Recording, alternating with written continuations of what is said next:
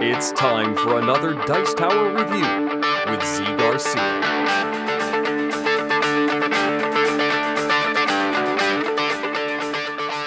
Hey, hey, everybody. Today I'm taking a look at Medici, the latest printing of Medici from Grail Games.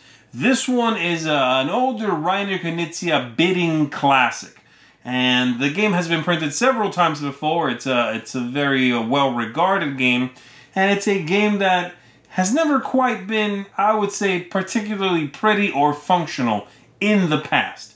So does this version fix that? Is it as functional as it appears? Is it as attractive as it would seem? Let's take a look.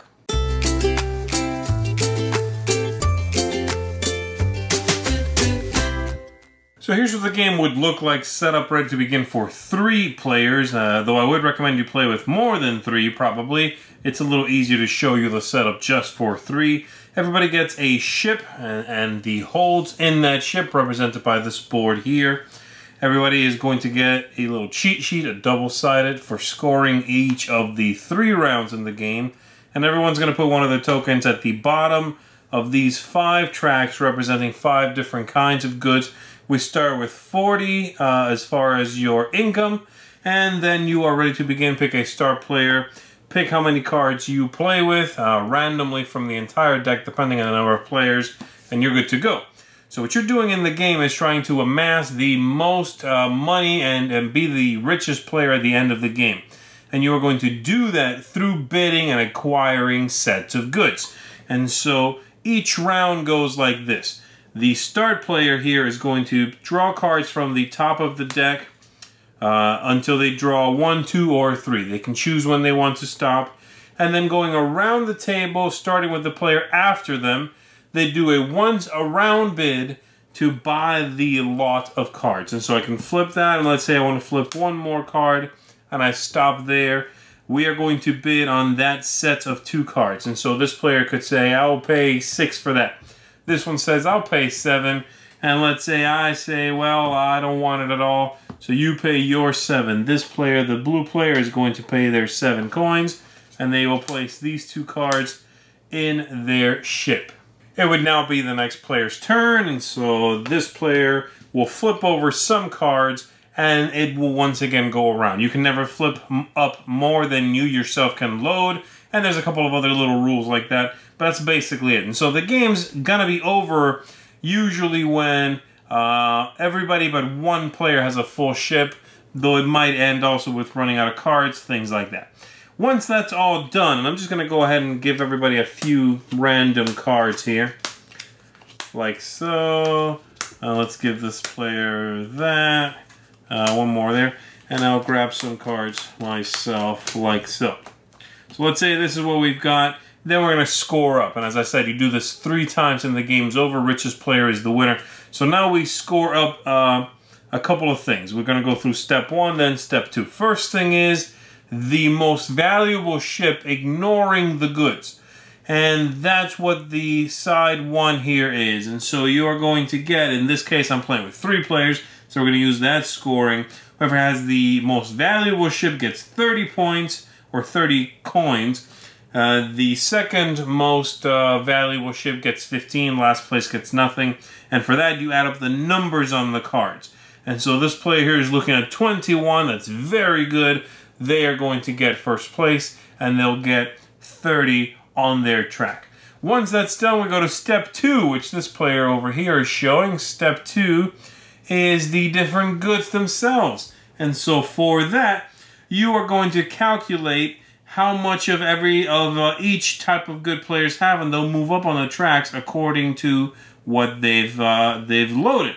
So, for example, let's say I want to do this one and track them here on the board. They have two of these furs, which are right here. They are pink, so I'll move them up to there. They have one of this uh, uh, clothing symbol there, so they'll move up one on that. And then the grain, they will move one up on that one, like so.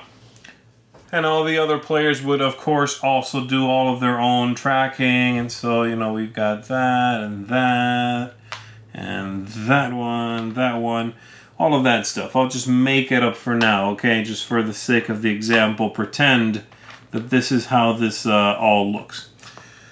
And then we go through them all and score everybody. And these tokens in the center here to help you figure out what you've scored already. And you'll flip it after you score it so that you don't you know where you started, you know what you've scored. You'll flip them back for the second round, for which you'll also remove one of these little tokens in the center. Very handy.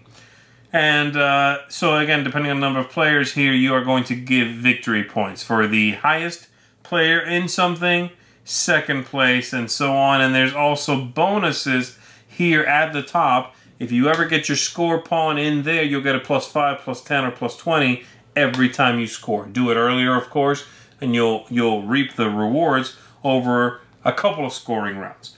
That's it. And so you are making money back. And then we'll clear these boards away.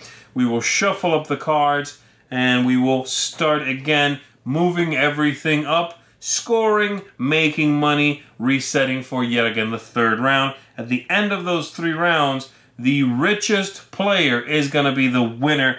And that's that's basically it. The only thing I have not shown you is the little boards that come with the game if you are going to play for two players then you take one of these, each of you, and you add it on to your board here in order to, um, uh, let's see, how does this go? I think it goes like that, right? Yeah.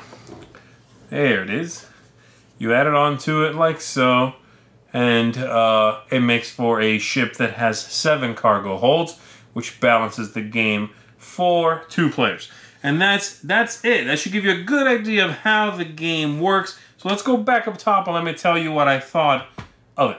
My final thoughts on the game are sort of split depending on what group I'm thinking of. There are people out there that already know Medici, that already like Medici, and we're just hoping this would be a good, functional, attractive version of this game. And if that's who you are and what you want, then yes, you've got it here. This game is attractive. The materials are very well made. These cards are just fantastic. Linen finished, solid, sturdy. Components are great. Everything looks real good. It's got a clean look to it. That Vincent Dutrait artwork is fantastic. And so, if you know the game already, you liked it, you want a new version of it that's going to really last and be easy to bring to the table, then this is the one I would very much recommend it for that. If you are someone that uh, does not know the game, isn't bringing anything to the table as far as knowing this is a classic, right? Uh, then I would say only go for this one if you enjoy your Euro games uh, on the very straightforward side. If you want something that is real clean, a very old school clean design, and if you are okay with the just a game that's really just bidding. There are no phases in this game. There is no now you spend the money and now you harvest and now you plant and then you go to market and sell. There's none of that stuff here. It's a very straightforward game. In some respects, and this is purely, you know, in my opinion, I find the game to be uh, too repetitive, even though it's not a long game and it does have a nice amount of time, but it's a little repetitive what you do coupled with a system that requires that the players all be about evenly matched. You know, having one brand new player in this game can sort of throw a monkey wrench in the whole thing when that player is bidding is out of whack with everyone's understanding of the systems. Uh, this can be seen in a couple of other Reiner Knizia games, actually bidding games. Uh, but in this one, you're going to get a little bit of that as well. And so if you're just getting into games, if you're just getting into Euro games, this is perhaps a little too simple, too dry for folks. But if you can appreciate the simplicity, if it's something that you think you're going to get into, then this is the version to get of Medici. For me, personally, not one I find to be a fantastically engaging game. I think Reiner Knizia has done lots of games and lots of better games. Uh, but again, if it's uh, if it's caught your eye in the overview, then definitely nothing to shy away from here because this version, what Grail Games has done, is really spectacular. Thanks so much for watching the Dice Tower videos. Find more great videos and reviews, as well as our top rated audio podcast at Dicetower.com. You can also find other great shows at Dicetowernetwork.com. I'm Eric Summerer, and you've been watching The Dice Tower. The Dice Tower is sponsored by Cool Stuff Inc., where you can find great games for great prices. Cool stuff in stock. Check them out at CoolStuffInc.com.